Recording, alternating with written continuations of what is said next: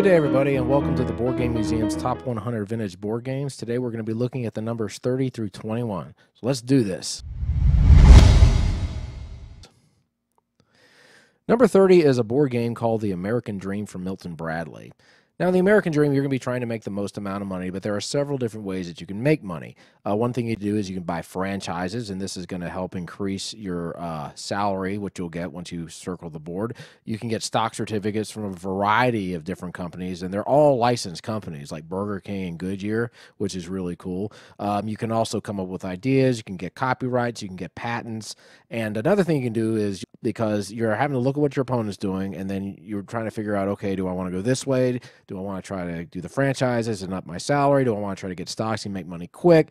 Uh, how do I want to do this? Because there's so many different ways you can make money, and plus the number of dice that you roll is also going to affect what's going to happen as well. Really cool game. I really like it a lot. Number 29 is actually three games, and it is in a series, and uh, they are reprints of other games that came out earlier, and this is the Mission Command series. Uh, now there's Mission Command Land, Mission Command Sea, and Mission Command Air. Mission Command Land used to be known as Tank Battle, and ultimately what you're trying to do is you're trying to destroy your opponent's tanks. You're going to be battling a lot of tanks with die rolls, and uh, each of the tanks are going to have a certain uh, strength. And uh, the cool thing about this game is you're going to have the ability uh, to try to guess where your opponent is going to move when it becomes his turn. And if you're able to guess correctly, they're going to take damage. Uh, you've got tanks you can use, helicopters you can use, you've got artillery, and you also have different buildings that you have to defend too, um, because if you end up losing the buildings, you're going to lose certain abilities plays Really cool game. Uh, Mission Command Air is a dogfighting game. You've got two different types of jets, and what you're basically going to be trying to do is you're going to be trying to shoot down your opponent's plane. A lot of dice in this game. One of the cool features is you can fly off the board and then end up on the other side. Uh, this game used to be called Screaming Eagles. Uh, but you've got uh, you can shoot guns at them, you can shoot missiles at them, which you'll be limited in, and you're also going to have cards that you're going to be playing that's going to determine where your plane is going to go. Are you going to veer right? Are you going to veer left?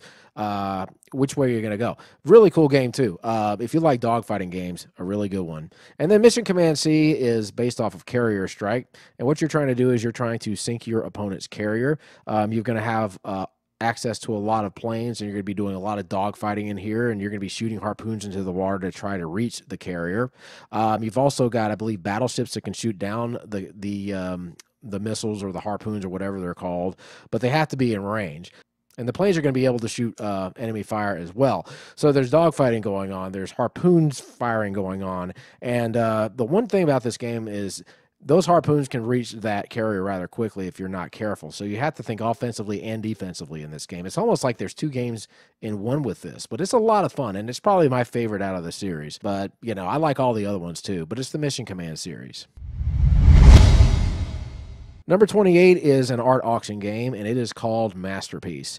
Now, in Masterpiece, you're going to have these replicas of famous paintings, and you're also going to be assigning them different value cards, though you're not going to know what the values are um, until you actually get access to the painting.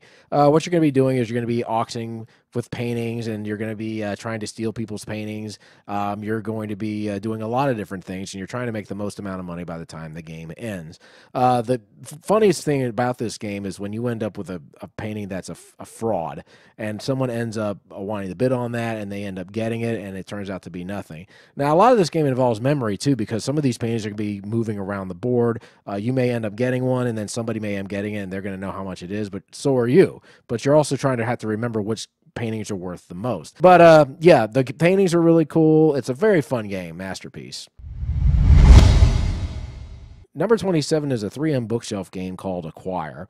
Now, in Acquire, you're going to be uh, having options to buy stocks with these different hotels. And what you're going to be doing is you're going to be placing tiles on the board and then once you're able to make say two next to each other you'll be able to go ahead and place a hotel there the more tiles that you have coming from a particular hotel the more it's going to be worth but eventually two of the hotels uh, tiles are going to merge together. So that's when you're going to be able to make the money. The one that had the most tiles is going to take over the one that had the least amount. And then you're going to be looking at the stock certificates that you've bought, and whoever has the most is going to get uh, the first amount, and whoever has the second most is going to get the next amount. So a lot of this game is about trying to figure out which hotels you want to buy and what tiles that you have. Um, and how much of the stocks you want to buy. There's a lot going on in this game, and it's one of those games that's easy to learn but kind of hard to master. It's a really, really good game. Number 26 is based off a game that is a classic now, and it is called Blokus Trigon. Now, in regular Blokus, you're going to have a bunch of different shaped uh, tiles uh, similar to Tetris. And what you're going to be doing is you're going to be placing them on a board. And the rule is you have to connect one of your tiles to another in order to place it there. So you're trying to get all of your tiles on the board, but at the same time, you're trying to keep your opponent from being able to put his on the board as well. So a lot of back and forth offense and defense going on in this game. With Blokus Trigon, all the pieces are more triangular shaped, and it's harder because you can only fit the pieces on a board in a certain way. The rules are still the same, but it's a lot more challenging.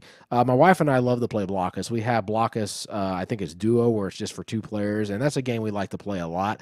Blokus Trigon is definitely a good game if you like challenging games. Number 25 is a Grail game, and it is It from the Pit. Now, this is a game my friend Matt talked to me about a while back, and I had to get this game. I finally was able to get my hands on it, and here's the gist of it. You've got a nice 3D board uh, that has a big little pit in the middle, and this is where you're going to be placing the electronic component, it. Now, what it's going to be doing is he's going to be reaching his arm out on occasion on this path that surrounds him.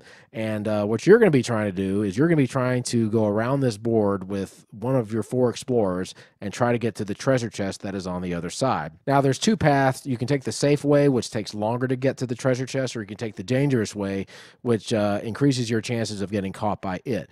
Uh, this is a fast paced game. This game is hilarious to play because um, it's almost like watching a horse race or something like that and people are like going go go go go go and they're hoping that it doesn't hit them and so many times it comes like just so close to hitting you and you're just breathing a sigh of relief uh, but at the same time he may end up scraping by you and he may knock your piece around and you have to figure out where it's going to go and uh, you know and then you got to figure out which path you want to go but this game is a lot of fun. Uh, now you have to play this game with more than two players or if you play with two players i would suggest just using two teams of explorers so that way you'd have four on there it just makes the game better. Uh, um, if you can get, grab a copy of this somewhere, I would highly recommend it. It from the Pit.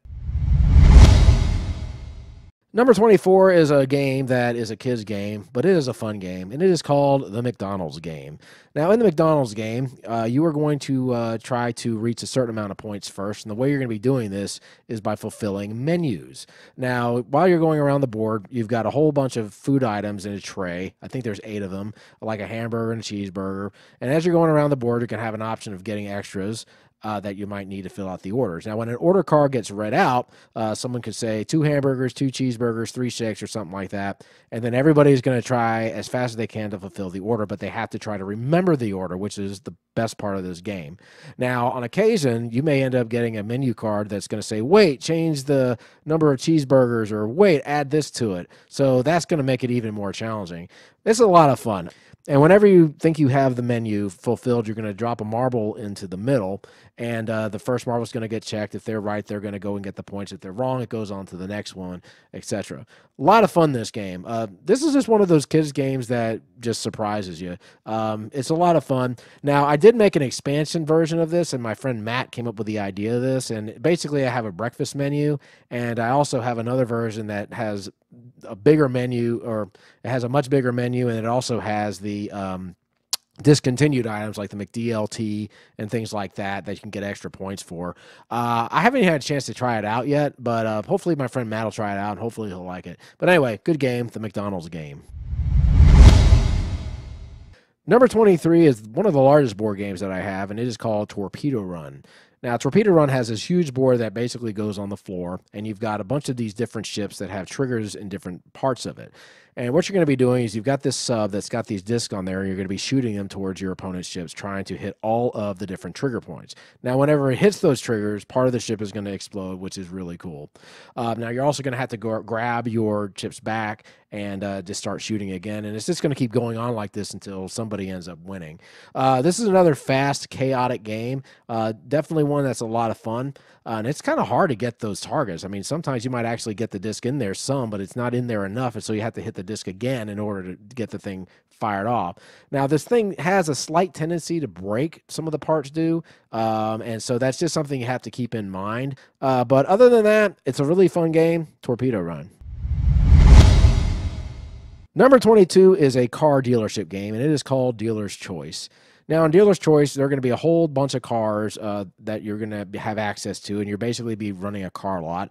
And what you're going to be doing is you're going to be buying cars, selling cars, trading cars with people, trying to uh, make the most amount of money. Now, you're going to have a blue book that's going to have all these cars in there, and it's going to tell you how much the cars are really worth. Now, each of the cars are going to have a value on them themselves, but the blue book is really funny because when you look at it, it could say something like uh, there was a dog that pooped in the car or something like that, and it's worth like say way less than it should be, or it could be a vintage model or something like that. But only you are going to know that. Where the game really shines is when you're able to sabotage your opponents. Uh, there's a card that says force sale, so you can force an opponent to buy one of your cars, and then there's another card that says uh, set car on fire or steal car or something like that. There's a whole bunch of these little cards in there, and there's also insurance cards that you can buy that are pretty funny.